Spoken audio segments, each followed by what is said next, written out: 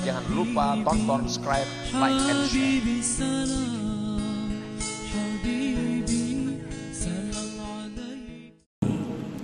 Imam Ahmad Ibnu Atta'illah memberikan petunjuk penjelasan kepada kita bahwa janganlah kamu gembira karena melakukan sebuah taat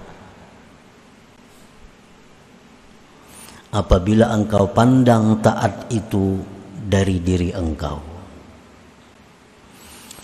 bergembiralah dengan taat apabila kamu pandang bahwa taat itu merupakan anugerah Allah Subhanahu wa taala.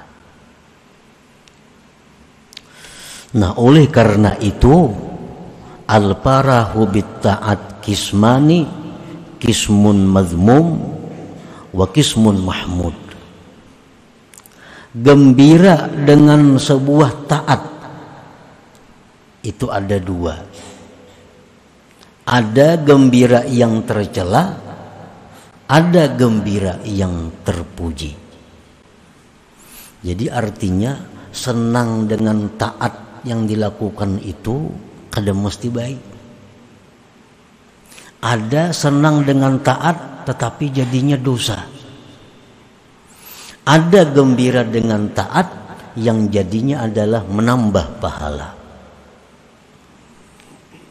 Kismani kismun mazmum wa kismun mahmud. Al mazmumu bermula yang dicela kal farahi bit ta'at min haitsu zuhuruha min nafsihi wa haulihi wa quwwatihi. Wa huwa min al wa huwa al ujbul muhbitu lit ta'at wal ujbu mamba'us syurur. Bermula yang dicela seperti gembira dengan taat dari sekira-kira timbulnya taat itu daripada diri dan daya upayanya. Inya ini kasukaan. Kawa puasa empat bulan berturut-turut. Kasukaan kawa puasa. Nah itu tercela. Inya kasukaan kawa sembahyang semalaman itu 100 rakaat suka bana inya kawa sembahyang tuh 100 rakaat. Nah sukanya itu kada boleh tercela. Inya suka benar kawa umrah sehari tiga kali. Sukanya gembira. Nah itu tercela. Karena itu termasuk ujub yang menggugurkan pahala. Di samping itu, ujub itu sumber segala kejahatan-kejahatan lain.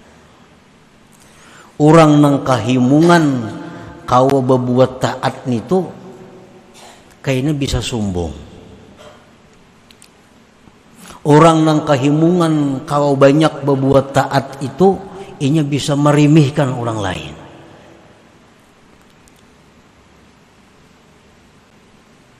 Nah jadi himung gembira suka kawa melakukan sebuah taat itu adalah sesuatu perbuatan yang dicela yang kada baik artinya.